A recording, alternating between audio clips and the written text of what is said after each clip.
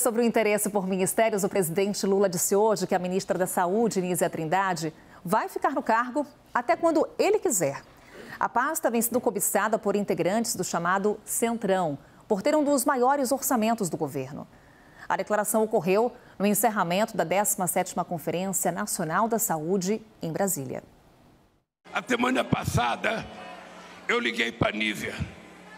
Eu tinha visto uma nota uma pequena nota no jornal de que tinha alguém reivindicando o Ministério da Saúde. Eu fiz questão de ligar para a Nízia porque eu ia viajar para fora do Brasil. Eu disse, Nízia, vá dormir e acorde tranquilo, porque o Ministério da Saúde é do Lula, foi escolhido por mim e ficará até quando eu quiser. Yuri Pita, agora sim, do meu ladinho aqui, sim. Yuri. Yuri, Centrão estaria cobiçando o Ministério da Saúde. Agora, com essa pressão, até quando Lula vai querer Nízia Trindade no cargo? Até quando puder, no fim das contas, né, Carol? Até quando for possível dentro das composições políticas que o governo precisa fazer no Congresso Nacional para manter essa pasta preservada desse interesse dos partidos, em especial o PP, progressistas, que é do presidente da Câmara, Arthur Lira, do ex-ministro Ciro Nogueira, entre outros. E por quê? Porque é uma pasta que o partido já controlou durante o governo Michel Temer, com o ex-líder do governo Ricardo Barros, e é uma pasta que tem não só um orçamento muito grande, mas ela é muito capilarizada.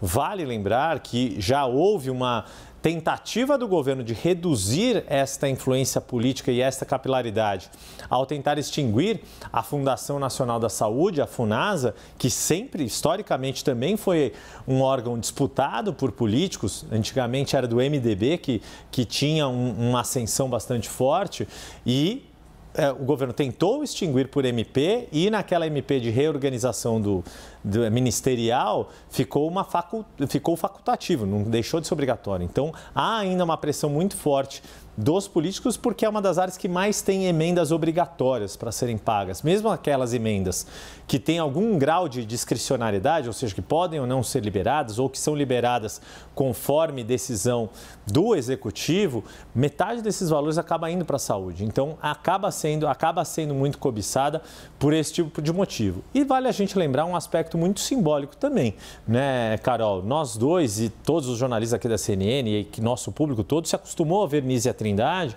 ao longo de, dos, dos anos da pandemia. Muito. Logo que a gente entrou no ar, Nízia Trindade, como presidente da Fiocruz, foi importantíssima para viabilizar um dos acordos de produção de vacinas aqui no Brasil, aquela primeira geração de vacinas da AstraZeneca, e é, tem um respaldo científico muito forte. Então, num, num primeiro momento, a, a, a, o, o objetivo que tem o governo, e toda vez que o Lula fala isso, é justamente para marcar que não só é uma, é uma cobiça política dos partidos maior do que ele está disposto a ceder e que, enquanto ele tiver forças, vai garantir Nízia Trindade no cargo. Obrigada, Euripita. Até, Até já. já.